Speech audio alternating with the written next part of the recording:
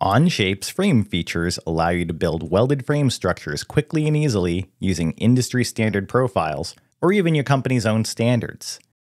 Creating a frame in Onshape is easy. You can use a combination of sketch geometry and 3D curves to drive your frame's geometry. You can even use the edges of a solid as boundaries to your frame. This unique approach to frame creation makes them easier to create and more robust when changing the design.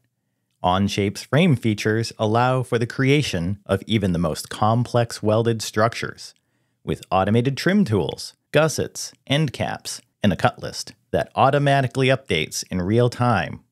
Finally, Onshape's unique architecture ensures that everyone in your company uses the same standards, which are automatically distributed without the need to pass around a library of files.